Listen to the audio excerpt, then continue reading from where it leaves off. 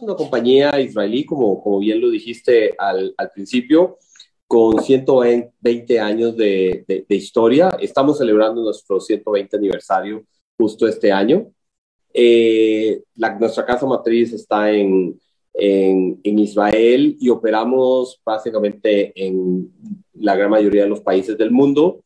Eh, somos una de las principales compañías productoras de genéricos en el mundo de alta calidad y pues la gran mayoría de nuestros productos avalados por obviamente entidades de regulatorias europeas, americanas, eh, con, con, con de, de, de, mucha fuerza y por supuesto acá en países como México, pues avalados por autoridades regulatorias como COFEPRIS.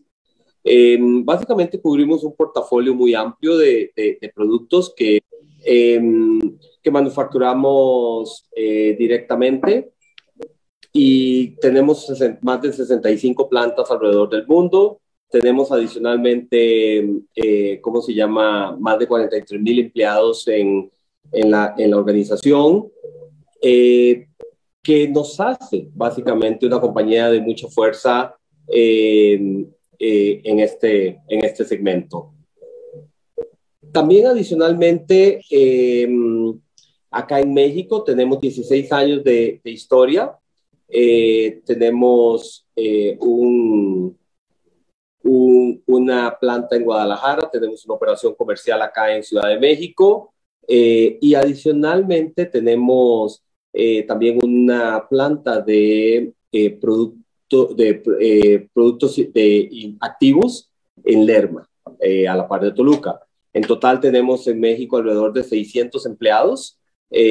Que, que, se unen a la, fuerza laboral de Teva y que pues todos nos enfocamos básicamente en, en nuestros tres pilares estratégicos, crecer y poder suplir eh, productos de alta calidad al mercado. Segundo, tenemos un enfoque claro en llenar las necesidades de los pacientes, en este caso los pacientes mexicanos. Y en tercer lugar, pues eh, operar bajo un nivel de integridad, tanto de nuestros colaboradores como con el mercado en el que estamos. Entonces, muy interesante el objetivo que tenemos hoy y nuevamente en el lanzamiento de la marca hablaremos mucho de, de, de esa parte de, que nos caracteriza, el foco en el paciente y la integridad en nuestras operaciones. En este evento del 10 de noviembre, que tiene por objetivo dar a conocer precisamente esa, esa nueva imagen de la marca Teva en México y que es la imagen ya global de la compañía.